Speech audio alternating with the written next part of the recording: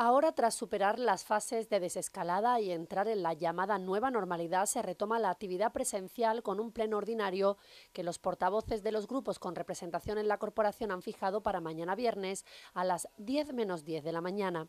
Para garantizar la distancia entre los asistentes, se ha previsto su celebración en el Centro Documental José Luis Cano. Entre los asuntos que se incluyen en el orden del día destaca la propuesta conjunta de Malgesa y Medio Ambiente sobre situación concesional de las captaciones de aguas fluyentes para el abastecimiento de la población de Algeciras, sistema bujeo y sistemas de capitán y cobre. Asimismo, se abordará mañana en la sesión la modificación puntual del Plan General de Ordenación Urbana en cumplimiento del protocolo con el Ministerio del Interior para cambio de cualificación del solar en la zona del Calvario para posibilitar la ampliación de la comandancia de la Guardia Civil.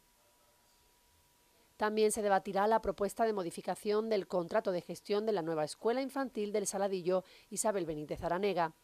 la liquidación del presupuesto del ejercicio económico de 2019, la aprobación inicial de la nueva ordenanza de playas o la cesión de un local para la Asociación Autismo Cádiz son otros de los puntos incluidos en el Pleno. También se abordará la propuesta para la elección del nuevo día de fiesta local en el municipio, en sustitución del 24 de junio. Desde el equipo de gobierno insisten en que se siguen dando pasos en la normalización de la actividad administrativa e institucional.